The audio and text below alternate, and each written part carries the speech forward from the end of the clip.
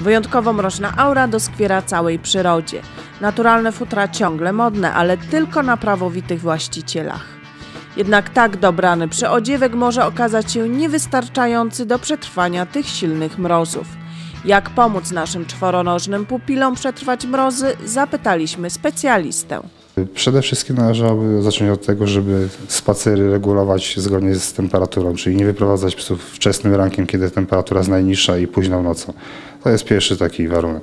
Poza tym trzeba liczyć się z tym, że drogi posypywane i chodniki są posypywane dużą ilością środków rozpuszczających lód, czyli sól i innego rodzaju środki chemiczne, więc starać się po każdym spacerze myć łapki, płukać z piasku, który dostaje się między opuszki, bo mocno kaleczy to rany, i rani łapki naszych czworonogów. Starać się też, y, szczególnie w ostatnich tygodniach, kiedy mróz jest bardzo silny, żeby natłuszczać te łapki. Na przykład zwykłą wazyliną kosmetyczną. Najprostszy domowy sposób. Tym zwierzakom, które lubią rekreację na świeżym powietrzu, należy zapewnić wysokokaloryczną dietę. naturalny sposób, w jaki zwierzęta przyjmują taką teraz taktykę na, na zimę, że gromadzą większą ilość tego tłuszczyku, więc parę deko więcej tego tłuszczyku w okresie zimowym jest jak najbardziej tutaj zalecane. Szczególną troską należy objąć psy, które mieszkają na zewnątrz, przy domowych kojcach. Jeżeli to nie są jakieś gotowane pokarmy y, ciepłe, czyli nie dawać całą michę jedzenia rano i żeby ten pies na przy tym miejscu był do wieczora, tylko starać się w małych porcjach, ale podgrzany ten pokarm dawać. Sprawdzać, czy jest woda, żeby nie dochodziło do tak sytuacji, że pies ma pełną miskę lodów, i więc sprawdzać, dolewać cieplejszej wody. Poza tym wiadomo, przede wszystkim przy takich mrozach, które były ostatnio, docieplić budy, ponieważ te zimy, które były w ostatnich latach, były zdecydowanie słabsze niż to, co obserwujemy teraz. I czasem jest nawet wskazane, żeby wziąć w, y, w naszego czworonoga, choćby do naszej kotłowni, żeby w cieplejszej y, temperaturze spędził noc.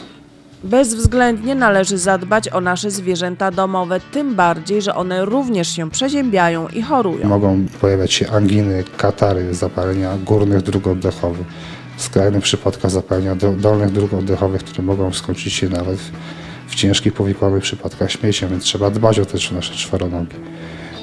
Pieski drobne, małe, małych, szczególnie takich drobnych, małych ras typu chihuahua czy jorki, Ubieranie ich na, na zimę jest jak najbardziej dobrym pomysłem, ponieważ one rzeczywiście cierpią przy takich mrozach i rzeczywiście ich organizm wymaga troszeczkę więcej opieki. To są małe, wygrzane pieseczki, które nie są przyzwyczajone szczególnie do tak niskich temperatur.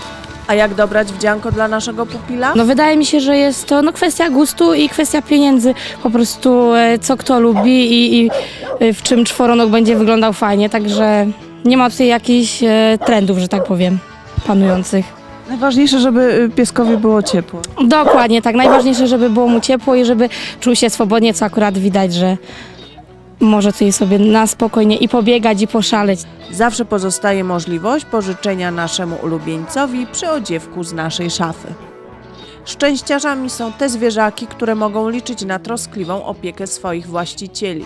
Nie zapominajmy jednak o cierpiących, bezdomnych zwierzętach. Dla takich wałęsających się zwierząt domowych, czyli bezdomnych psów i kotów, no z w miarę możliwości, jeżeli są jakieś punkty, w których te zwierzęta y, są karmione, dokarmiać je zimą. Jeżeli widzimy jakieś strasznie wynędzniałe, wy- wymarznięte psy, starać się zawiadomić choćby straż y, miejską. Lepiej, żeby ten czworonóg trafił do schroniska, gdzie dostanie y, miskę jedzenia i, i, bu- i budkę, niż żeby gdzieś zamas po prostu w rowie. Więc starać się nie wykazywać znieczulicy i zgłaszać takie przypadki, bo tak jak mówię, lepiej, żeby trafił do schroniska. Natomiast zwierzętami dzikimi, no tradycyjnie tutaj leśnicy dbają o zwierzęta leśne, więc my możemy zadbać o ptaszki, które możemy dokarmiać w przydomowych karmnikach i budkach dla ptaków.